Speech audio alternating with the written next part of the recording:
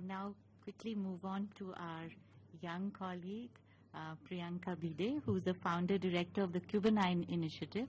And you know, in a short span of about three to four years, the Kubernein Initiative has established an amazing footprint, uh, especially in terms of widening the discourse on gender sensitive foreign policy.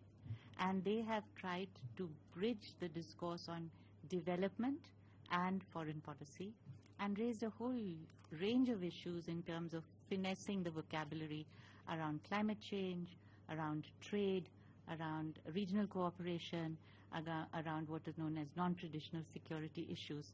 And I, I, think Priyanka is ideally positioned to lead this along with her colleague uh, who couldn't be here with us today.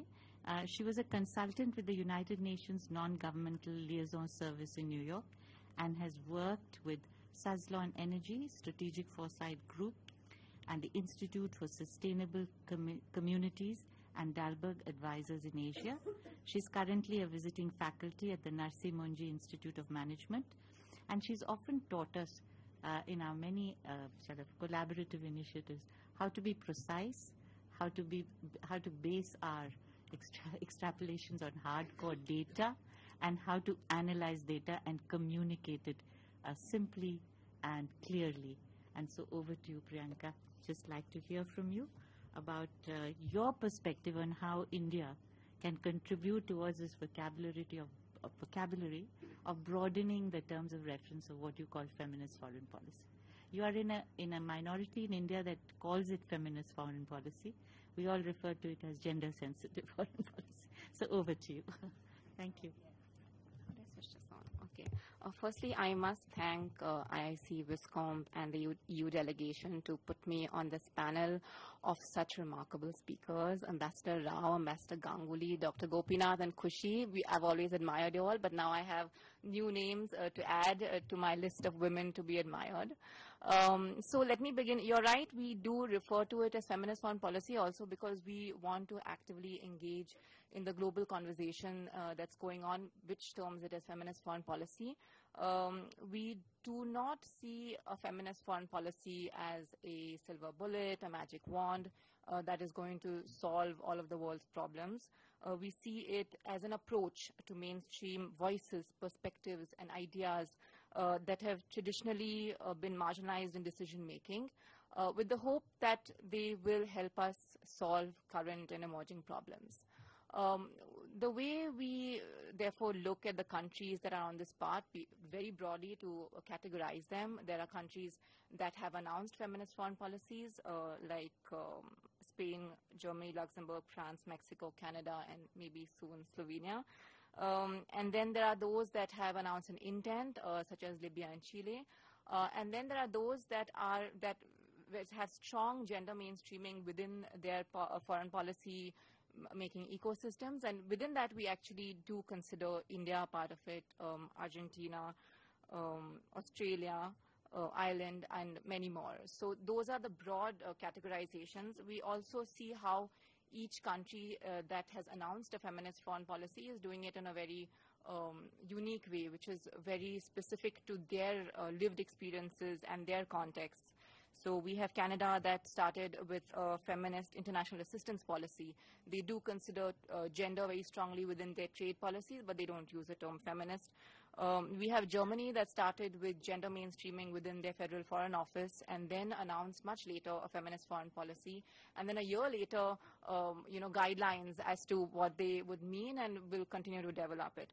Um, Sweden has as Dr. Gopinath correctly mentioned, has disassociated from the word feminist, but still uh, there are several structural changes in place um, and they are quite committed uh, to the, uh, the gender mainstreaming in their foreign policy as well. Uh, we also uh, found very interesting how people uh, look at the word feminist, how they look and term inclusive.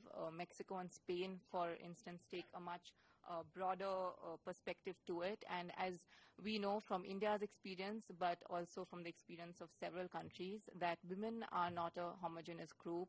Um, so we have to dig much deeper. We have to take an intersectional lens. Even within a common economic strata, there are differences when you look at states, when you look at urban and rural, when you look uh, uh, between castes. Um, so while then looking at the the Indian story, what uh, we have found encouraging in the recent past um, is uh, this shift in the national level, at the national level, in the narrative from uh, being from looking at women's development to women-led development, and we um, are very curious to see how um, the government will go down, go along this path and take it forward. Uh, but we do believe that as India, we are very far away from using the term feminist. Uh, it is still um, has a very Western connotation. Uh, it's looked at in the binaries, uh, in the policy circles as well. Um, and it does not translate very easily into many languages. So we've actually in our in our report used the term. I'm going to shamelessly promote my work, but the term uh, opportunities for a more inclusive foreign policy uh, that we presented with the Konrad Adenauer Stiftung India office. Um, and uh, this is because as um, we look at um, things that are going to affect us, climate change, and we look at what it means to be inclusive, uh, we are looking at women, but also larger communities that are marginalized. Uh, when agriculture is affected, of course, it is the large sections of women in the unorganized workforce and then their families. But when a small fishing village uh, is impacted, um, it is women through the, the men that are still very much the people going into going uh, to sea and uh, other sort of the the economic earners, and through them, uh, their families and women are affected. And how do we then create policies that have this wider perspective? Um, is something uh, that we are trying to look at. Um, the government also is now using uh, more increasingly the word inclusive. We've seen it extensively in the designing of our G20 outlook um, and referenced uh, several times uh, by our Prime Minister, Foreign Secretary, and people at high levels. Um, so that is very encouraging. Um, but one aspect of feminist foreign policy, of course, um, as we have spoken about, uh, is uh, the number of women. The other aspect is uh, the approach and how do we make policies uh, more inclusive. I know I'm running out of time, um, so I will wrap it up. One thing I wanted to add to what uh, Dr. Gopinath said and Ambassador Rao also said about how the number of women in the services uh, is reducing. We looked at the, at the picture of the incoming batch of IFS officers who would have joined last year and counted, and there were around 44% that were women. So what happens, you know, to them? Where do they go? And it was really interesting to hear your experiences and life stories and would love to chat about that further. Um, but uh, very concisely, uh, what we think needs to happen is for systems to change. Um, and this is then the responsibility of both uh, men and women uh, that are in leadership uh, to ensure that we have systems that are inclusive and it doesn't matter then um, who is in power, uh, but automatically the position will ensure uh, that uh, there is an inclusivity in, in, in the outlook. And the way we, uh, where we are at uh, currently in India, I think that would require a very strong leadership from men and women as well. And I will conclude there. Thanks. Thank you, Priyanka. Flagged so many important issues. I think also the, of the possibility of collaboration lies in building these institutions and also providing structures.